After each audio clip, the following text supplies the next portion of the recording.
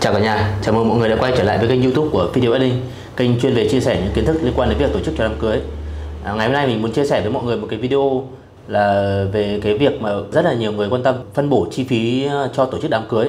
À, Sau khi mà đã có ước lượng một cái lượng uh, chi phí mình muốn và có khả năng để có thể bỏ ra để tổ chức cho đám cưới Thì đến cái vấn đề tiếp theo là cái việc mà phân bổ cái chi phí đấy như nào cho nó hợp lý nhất Dựa trên cái nhu cầu cũng như cái sở thích, cái mong muốn của cặp đôi cô dâu chú rể. Và thứ hai nữa là cũng đưa ra cho mọi người một số những cái bản mẫu phân bổ chi phí dựa trên tài chính của cô dâu chú rể cũng như là cái ờ, nhu cầu và sở thích cá nhân của từng cái cặp đôi. Thì mời mọi người cùng theo dõi.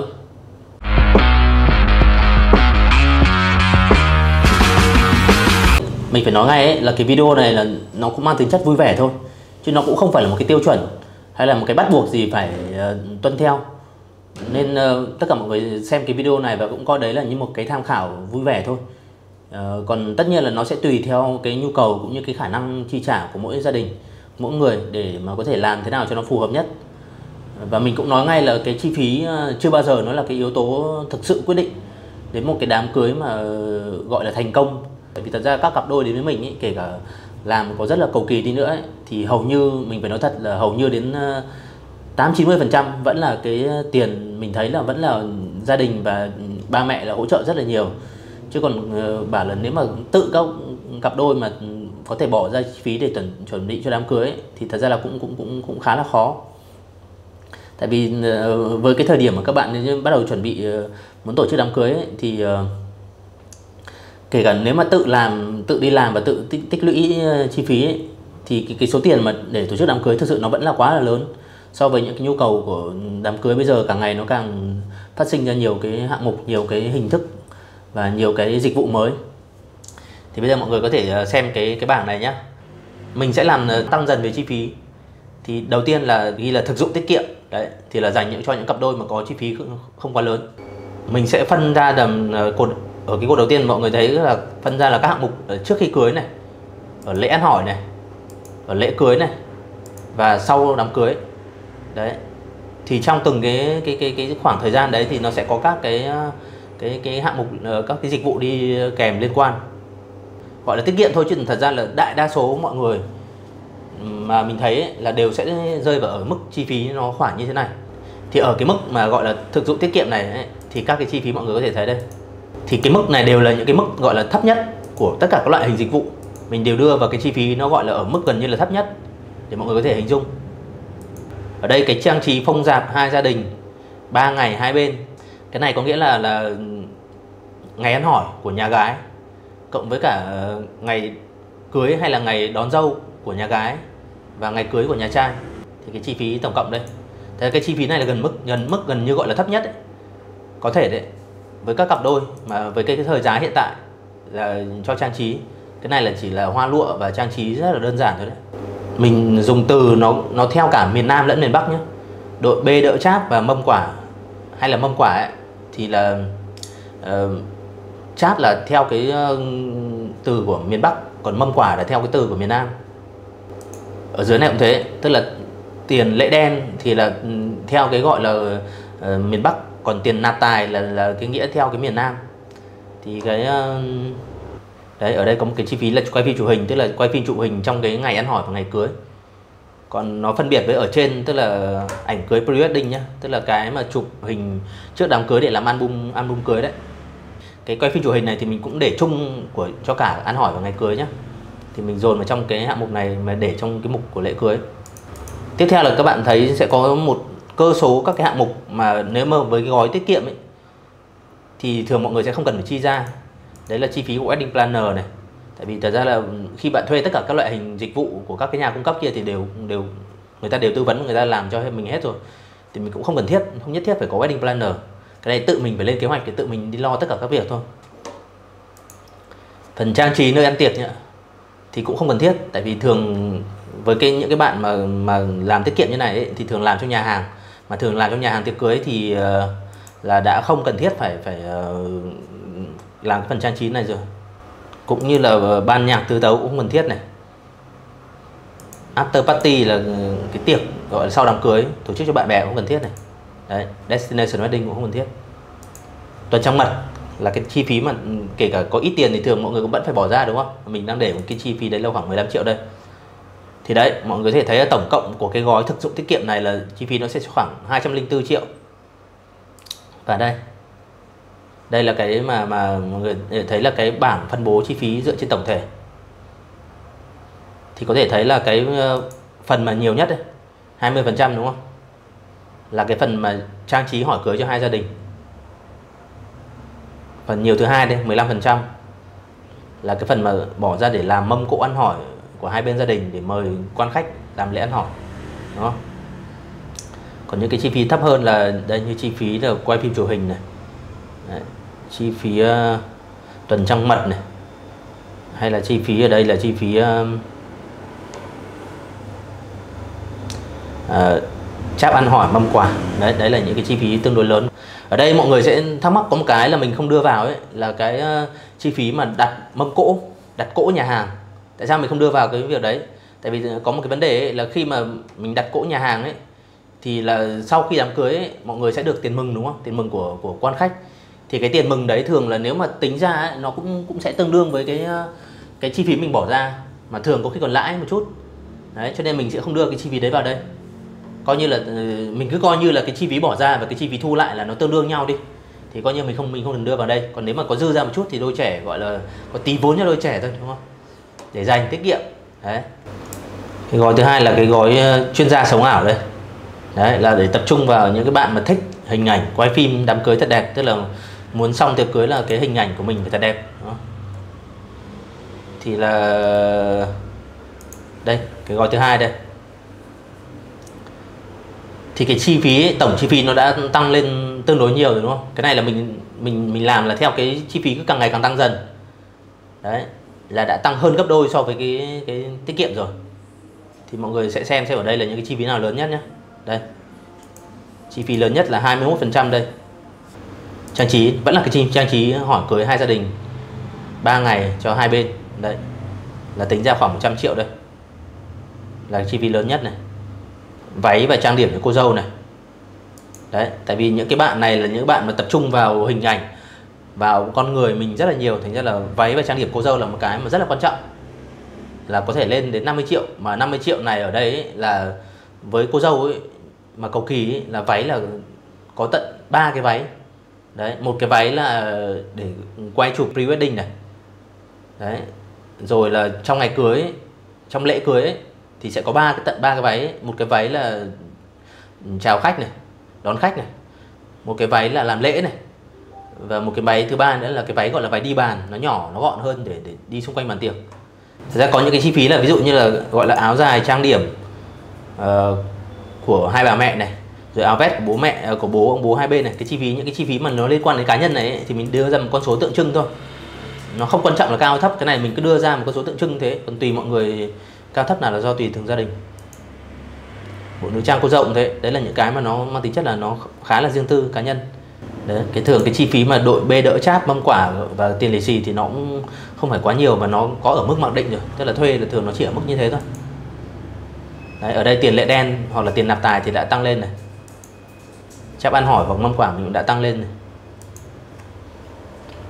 Đây mâm cỗ mình vẫn để nguyên này. Đấy chỉ có là ở đây là với cái những cô dâu sống ảo thế thì mọi người sẽ thấy là cái chi phí váy cưới nó đã tăng vọt lên đúng không? Rất là nhiều nếu mà so với cái cái cái, gói đầu tiên. Đối tượng như này ấy, thì là có hai cái chi phí này là là là tương rất là nhiều. Đấy là váy và quay phim chụp hình là sẽ là nhiều này. Và ở cái gói này mình bắt đầu đưa cái cái wedding planner vào cái dịch vụ wedding planner vào để để có thể ờ, giúp đỡ cho cô dâu chú rể toàn bộ cái cái tiến tiến trình. Của tiệc cưới nó ok hơn. Và cũng có một cái phần chi phí bỏ ra trang trí nơi ăn tiệc âm thanh ánh sáng rồi là 50 triệu. Đấy. Thì thật ra với cái gói như này ấy, nếu mà với quy ra với cái gọi là hệ quy chiếu về về dịch vụ của bên mình nhá thì cái trang trí nơi ăn tiệc âm thanh ánh sáng này ấy, nó vẫn là rất là thấp. Mình nói thật sự là với cái khách hàng của mình ấy thì nếu mà ở mức tối thiểu nhiều khi nó cũng vẫn đang phải tầm khoảng 100 triệu rồi. Chứ 50 triệu này là mức rất là thấp luôn đấy thì gọi là có thể làm một vài hạng mục chính hoặc là làm hoa lụa. Đấy hạng mục ở nhà cũng như thế với cái chi phí như này. Là cái chi phí mà rất là thấp gọi là basic. Nhưng mà ấy, với cái chi phí váy này chi phí quay phim chụp hình như này này thì lại là gói tương đối cao cấp rồi. Đây là những cái cô dâu chú rể ưu tiên vào cái cái gọi là hình ảnh nhiều hơn là đề co hay là về trang trí. Tiếp theo nhé là đối tượng yêu hoa gọi là yêu hoa và nghiện đế co, thích đế co đẹp đấy. Mọi người có thể thấy là cái mức độ mà những cái này là đang tương đối cân đối, đúng không? Giữa các cái vùng là nó nó cứ tương đối đều đều đều nhau, nó không nó không hơn kém nhau quá nhiều, đúng không? Nhưng mà sang cái cái cái đối tượng thứ ba này là mình có thể thấy là cái phần này nó đã lớn nhất này và chiếm đến khoảng 31% này. Là chính là cái chi phí trang trí nơi ăn tiệc, âm thanh ánh sáng này. Trên tổng cái giá trị nhé tổng cái giá trị cộng vào nó khoảng hơn 600 triệu đây 650 triệu đây thì cái phần chi phí này nó chiếm khoảng 200 triệu. Đấy là, là chiếm khoảng 30 31 phần trăm đây. Đây là cái phần uh, tương đối nhiều đấy phần trang trí decor cái phần thấp hơn là cái phần cũng trang trí ở nhà nhé là chiếm 150 triệu. Đấy đấy là hai cái phần mà liên quan đến trang trí nhiều nhất. Vì cái đối tượng này ấy, là ưu tiên hơn cho decor. Thật ra mọi người có thể thấy là ở đây là cái phần quay phim chụp hình này chi phí nó đã giảm bớt này đúng không? Váy trang điểm của dâu đã giảm bớt này tất cả những phần đấy đều đã giảm bớt nhưng mà hai cái phần trang trí là mất nhiều nhất. Và tổng cái chi phí ấy, là nó vẫn tăng lên nhá đúng không? Nhưng mình cũng nói ngay ấy, với cái chi phí decor này nó vẫn chỉ là ở mức gọi là trung bình thôi nhá. Còn các cái hạng mục mà váy rồi ờ, quay phim quay phim chụp hình cưới các thứ như thế thì nó cũng là ở mức trung bình. Đối tượng tiếp theo. Đối tượng này là đối tượng nhà có điều kiện. Nhà có điều kiện nhưng mà chi tiêu hợp lý chứ không hoang phí và có thể nói là hoặc là những đối tượng mà như du học sinh. Đấy thì đây là cái bảng đây. Thì mọi người có thể thấy là với đối tượng này ấy, cái tổng chi phí nó tăng lên đã rất nhiều nữa chạm ngưỡng 1 tỷ hơn 1 tỷ khoảng tỷ mốt. Và mọi người có thể thấy là so với cái cái trước ấy, thì cái này nó cũng khá là tương đồng đúng không? Hai cái hình tròn nó khá tương đồng nhau đúng không? Tức là cái phần mà mình bố trí cho cái phần mà đề co nó vẫn phải là gần như hai cái phần đấy nó vẫn chiếm tương đối nhiều nhất. Đấy là phần trang trí ở nhà. Và cái phần trang trí ở tiệc cưới là hai cái phần mất nhiều nhất là đã khoảng 500 triệu rồi. Còn lại là giải đều cho các hạng mục khác. Ở đây thì mọi người thấy là phần váy và trang điểm cô dâu mình cũng đã đẩy lên khoảng 70 triệu rồi. Tương đối cao cấp thôi nhé chứ còn nếu mà váy thì nếu mà nói là bỏ, bỏ ra 70 triệu thuê váy ấy, thì với một số cái thương hiệu cao cấp ấy, vẫn chỉ ở mức bình thường thôi. Gọi là cơ bản thôi. Đấy còn với những cái thương hiệu mà vừa vừa thôi thì nó mới gọi là là tương đối cao cấp. Đấy là về váy nhá thứ hai nữa là về quay phim chụp hình thì mình cũng để 50 triệu là cũng tương đối ổn rồi cho cả hai ngày ăn hỏi cưới và cả quay cả chụp. Còn lại các hạng mục khác là là, là mọi người có thể giải tương đối đều ra đúng không? Đây cái phần mà mà chăn ga giường tủ của thứ là cũng phải tương đối nhiều nhá 80 triệu đây. Đấy vẫn là những phần đấy là lớn. Đây mọi người có thể xem lại một lượt tất cả cái chi phí đây. Và ở đây ấy, có một cái chi phí bắt đầu xuất hiện là cái chi phí mà nếu mà cô dâu chú rể ấy, trong cái ờ, trước đám cưới ấy, trước tiệc cưới có thể muốn làm đấy là chi phí gọi là làm uh, elopement wedding tức là một cái gọi là giống như là kết hợp làm pre-wedding tức là kết hợp đi chụp quay chụp đám cưới ấy, thì làm luôn cái elopement wedding này. Tức là cả quay cả chụp cả có cả đề go luôn. Làm lễ cưới chỉ có hai người chỉ có cô dâu chú rể với nhau thôi. Uh, có thể dưới sự chứng kiến của một số bạn bè đi cùng uh, hoặc là một uh, gia đình uh, thân thân thiết một vài người đi cùng. Cũng đã có một cái video mọi người có thể xem theo dõi ở đây. Những cái chi phí tiếp theo chi phí lớn đấy là như trang trí phong dạp rồi là cái tiền lệ đen này tiền lệ đen hoặc là tiền uh, nạp tài là nó đã tăng hẳn lên này. Thật ra cái này mình để 50 triệu đây là mình để cũng gọi là tương đối thôi nhé nhưng thật ra cái này ấy, với những dạng nhà có điều kiện một chút ấy, thì mình thường thấy con số nó rất là lớn. Với cả có một cái điều nữa là thật ra là như ờ, theo truyền thống của miền Bắc ấy khi mà đưa cái gọi là cái lễ đen ấy đưa vào ba cái phong bì để đưa sang nhà gái ấy, thì vì để trong ba cái phong bì ấy, thì thường là không để được quá nhiều. Nên uh, nhà chồng mà muốn ờ, có điều kiện và muốn ờ, ờ, tặng cho cô dâu nhiều hơn ấy, thường là sẽ tặng thêm bằng vàng hoặc là trang sức. Chứ còn cái tiền mà lễ đen thì sẽ không ấy được nhiều. Nhưng mà trong miền Nam ấy, thì cái tiền nạp tài là sẽ đưa thẳng tiền tiền tiền mặt rất là nhiều. Ở đây wedding planner mình cũng tăng lên khoảng 30 triệu đây. Tuần trăng mật mà hết 30 triệu này thì là cũng cũng cũng hơi thấp đúng không?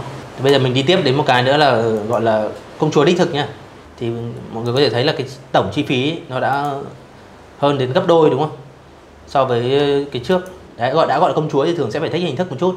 Và và muốn mọi thứ trông nó đẹp nó phải cầu kỳ một chút. Đấy, thì ở đây mọi người có thể thấy là so với cái trước này. Đấy, cả hai phần decor ở nhà và khách sạn đã đã thu lại nhiều hơn. Nhưng mọi người có thể thấy nhá, ở đây nhá, có một cái phần mà đã tăng lên tương đối nhiều này. Một cái phần tăng lên tương đối nhiều đây là, mọi người sẽ xem được cái gì nào? Cái phần này gọi là một cái mà mà mình cho thêm vào cho những cái bạn mà bây giờ gọi là dịch vụ mới đấy gọi là destination wedding, tức là đám cưới mà mà tổ chức ở một cái địa điểm ờ, ở xa. Ờ, mọi người có thể mời toàn bộ ờ, quan khách. Ở đây là mình giới hạn là khoảng cho 100 khách thôi nhé 100 khách thân thiết, bạn bè thân thiết rồi gia đình là đi tổ chức ở một cái tiệc cưới ở nơi xa. Đấy, thì là mình mình đưa vào. Tại vì khi mà mà làm một cái tiệc cưới destination như thế là là sẽ phải bỏ ra chi phí để mà thường là sẽ phải bỏ ra chi phí để để mời mọi người là từ ờ, vận chuyển đi lại này rồi là ăn ở lo ăn ở mọi cái. Bên cạnh là cái việc chi phí bỏ ra đám cưới nữa. Chứ cái chi phí này là tương đối lớn. Tất nhiên ở đây cũng còn tùy nhá. Có thể ờ, sẽ có những cái tiệc destination là, là khách mời là sẽ hỗ trợ cô dâu chú rể một phần bằng cái việc có thể là bỏ ra chi phí đi lại chẳng hạn. Đấy nhưng mà thường mình thấy nếu mà đã gọi là làm destination mà mà chuẩn ấy, thì thường là là là nếu mà gọi là chu đáo và chuẩn ấy, là phải làm phải lo hết toàn bộ cho khách mời từ việc vận chuyển đi lại cho đến ăn ở giải trí trong khoảng ờ, hai uh, ba ngày đấy cộng với cái việc là tổ chức một cái đám cưới ăn tiệc nhỏ nhỏ xinh xinh nữa. Và thường là làm những cái destination đấy ấy, thì thường cái cái phần chi phí cho decor là nó sẽ không quá cầu kỳ. Mà cái đấy mà sẽ nhấn nhiều vào cái phần gọi là uh, chương trình nó sẽ quan trọng hơn. Ba cái phần lớn nhất đúng không? Mình thấy là vẫn là hai cái phần trang trí ở nhà hàng khách sạn này phần trang trí ờ, hỏi cưới ở hai gia đình hai bên này và cái phần mà ví dụ là có thể làm cái tiệc destination ờ, wedding đấy là ba cái phần lớn nhất đúng không? Và với những cái tiệc cao cấp kiểu này ấy, thì mọi người có thể thấy là cái chi phí mà chắp ăn hỏi mâm quả là cũng sẽ tương đối cao tương đối cao luôn đấy tại vì là khi mà làm một cái cái ờ, lễ hỏi như này ấy, thì cái phần mà để mà nâng cái chi phí lên ấy thứ nhất là lượng mâm quả hoặc chắp ăn hỏi là nhiều này thứ hai là dùng hoa ngoại rất là nhiều này thứ ba nữa là sẽ dùng rượu, những cái chai rượu ngoại rất là xịn, cao cấp. Đấy, thì nó sẽ đẩy cái chi phí này lên tương đối nhiều. Mà như nhà mình vẫn làm ấy, thì thường là cái những cái chai rượu có thể là bây giờ những cái nhà giàu thường hay chuộng cái rượu Macallan. Ở đây mình cũng đã thêm các cái chi phí mà như ban nhạc từ tấu ca sĩ, rồi after party, hay là cái chi phí mà bỏ ra, cô dâu chú rể bỏ ra để mời mọi người sau tiệc cưới đi. Ví dụ có thể vào bar, vào pub chơi, ăn uống, vui vẻ rồi tuần trăng mật ở đây cũng đã lên tương đối nhiều rồi, đúng không? Đấy đấy là cái dành cho những công chúa đích thực đấy cái tiếp theo là cái mà mình gọi là mây tầng nào gặp mây tầng đó đấy. Cái chi phí nó đã lên gấp đôi so với ờ, bên công chúa đích thực đấy hơn gấp đôi. Đấy, mọi người có thể thấy là ừ, công chí nó đã lên đến ờ, hơn 5 tỷ, khoảng 5 tỷ ba, đúng không? Thì ở đây nhá, mọi người cùng xem là những cái phần nào chi phí lớn nhất này. Đấy, hai cái phần chi phí lớn nhất này. Cùng tương đương phần này mọi người thấy mới này, đúng không? Một cái màu mới nhá đúng không so với những cái cũ là hai cái màu này nhé đúng không? Thì cái này là một cái màu mới tinh này. Ờ, Có thể đoán được là cái ờ, gì không? Đây. Mình chia sẻ luôn đấy chính là cái gì ờ, gọi là tiền nạp tài đấy. Tiền nạp tài hoặc là tiền của ba mẹ hai bên mà cho cặp đôi cô dâu chú rể. Đấy, là cái chi phí rất là lớn. Thì cái phần trang trí này với những cái tiệc mà mà gọi là đây là những cái tiệc gọi là của tầng lớp siêu giàu rồi thì là nó phải lên đến tận tiền tỷ đấy đấy thì hai cái chi phí này là tương đương nhau đúng không? Và đều rất là nhiều luôn. Rồi cái những cái phần thấp hơn đây destination wedding đây tiệc cưới du lịch ấy chi phí váy trang điểm cô dâu này nó đã ở mức cao cấp rồi này. Chưa phải là cao cấp nhất thôi nhé váy và trang điểm cô dâu cái váy cô dâu ấy nếu mà ở với những thương hiệu mà cao cấp nhất ấy, thậm chí nó có thể lên đến 500 triệu hoặc là hơn. Với mỗi cái đối tượng ấy thì cái vòng hòa sắc này nó đã thay đổi rất là nhiều đúng không? Cái tỷ lệ nó thay đổi rất là nhiều dựa theo cái cái mức cái nhu cầu và khả năng chi trả và cái cuối cùng cái này là một cái mà thật ra là nó vui vui một chút thôi. Thì uh, cái đối tượng này mình gọi là con các bác. Con các bác còn bác nào không rõ. Cái ví dụ thế thôi. Thì ở đây mọi người có thể thấy đấy cái vòng nó lần này nó rất là chênh lệch luôn đúng không? Nó có một cái chênh lệch và lớn nhất luôn đây. Mọi người thấy đây 32 phần trăm đây. Thì nó cũng gần gần tương tự như cái trước. Cái trước là chiếm 19 phần trăm đây nhưng cái này tận chiếm tận 32 phần trăm đây. Đấy. Mà cái tổng tổng của cái này thì lại nhỏ hơn cái trước nhé khoảng tròm chèm gần 3 tỷ đi cứ cho là gần 3 tỷ đi. Thì cái phần mà chiếm tận 1 phần 3 đây 32 phần trăm đây. Nó chính là phần cái phần gọi là tiền đấy. Tiền của hai bên gia đình gọi là tiền thì tiền à, tiền cưới đấy hai bên gia đình cho đôi trẻ đây. Đặc điểm của, của con các bác là tiền cho thì rất là nhiều đúng không? Còn lại tất cả các thứ khác thì đều đơn giản vừa vừa thôi. Ở đây mọi người thấy là tiền trang trí không nhiều nhá. Thấp này tiền trang trí ở hội trường khách sạn nhà hàng thấp này. Khoảng 300 triệu này tiền trang trí ở nhà khoảng 200 triệu này là rất là bình thường đúng không? À, chăn ga giường tủ cái thứ cũng tương đối đúng không? Trong tất cả các phần thì của cái này lại vọt lên đúng không? Phần màu vàng này đã vọt lên này là chăn ga giường tủ bàn phấn này. Phần gọi là nội thất trang trí này. Thật ra cái này là mình để đấy vẫn tương đối nhá. Chứ thực tế là có thể còn cao hơn.